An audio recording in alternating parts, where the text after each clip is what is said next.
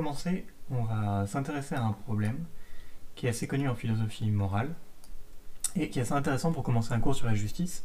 C'est euh, le problème du tramway, donc aussi appelé le, dilemme du tramway.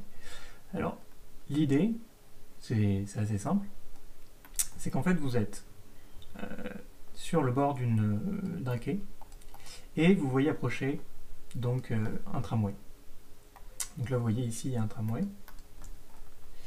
Euh, ici, le tramway. Vous vous situez là. Et vous avez donc euh, un petit levier pour euh, changer de voie. Donc si vous ne faites rien, le tramway se déplace tout droit. Et si vous décidez d'activer le levier, en le passant de ce côté-là, le tramway se déplace. Et donc vous voyez que sur la droite, vous avez donc 5 personnes qui sont sur la voie. Bon alors, on va voir après, euh, ça peut être 5 personnes euh, que vous connaissez, etc. Mais pour le moment, juste 5 personnes inconnues, par exemple des, ouvriers ou quelque chose comme ça. Et sur l'autre voie, vous avez une seule personne. Et donc, le, dilemme du tramway, je vais le marquer, le dilemme du tramway, c'est de se demander, bah, qu'est-ce que vous faites si vous êtes en charge du levier. Est-ce que vous choisissez de ne rien faire, et donc le tramway se déplace et écrase 5 personnes, et donc elle meurt. Euh, donc elle meurt, même rouge. Euh, soit vous décidez d'activer le levier, et à ce moment-là, une seule personne meurt, mais donc vous avez une décision, euh, un, rôle dans l'histoire en fait. Si vous ne faites rien, 5 personnes meurent, et vous êtes d'une certaine manière irresponsable, vous n'avez pas de responsabilité dans l'affaire.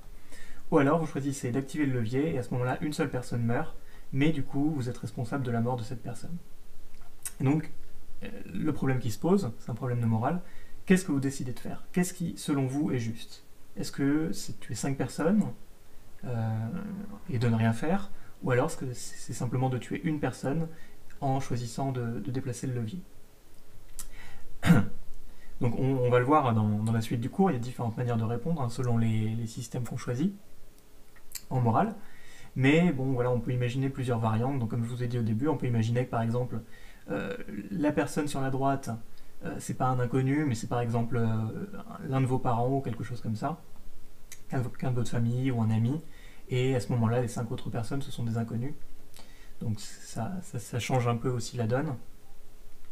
On peut également imaginer d'autres euh, situations. Donc par exemple, euh, ça c'est la version originale, donc euh, le problème du, levier en, 1967.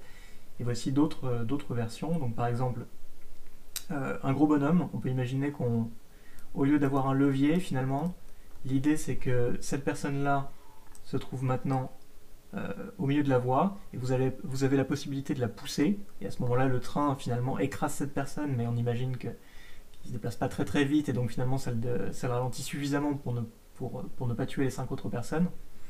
Donc l'idée là c'est que c'est vraiment vous pousser directement la personne, vous vous appuyez pas sur un levier, donc d'une certaine manière vous avez une responsabilité qui est un peu plus directe. Euh, peut imaginer que cette personne, elle n'est pas simplement assez grosse, mais qu'elle est carrément méchante. Donc à ce moment-là, est-ce que ça vaut la peine de tuer un méchant pour sauver cinq personnes qui sont peut-être euh, bah, complètement inconnues, donc c'est-à-dire peut-être méchantes, peut-être bonnes, on ne sait pas.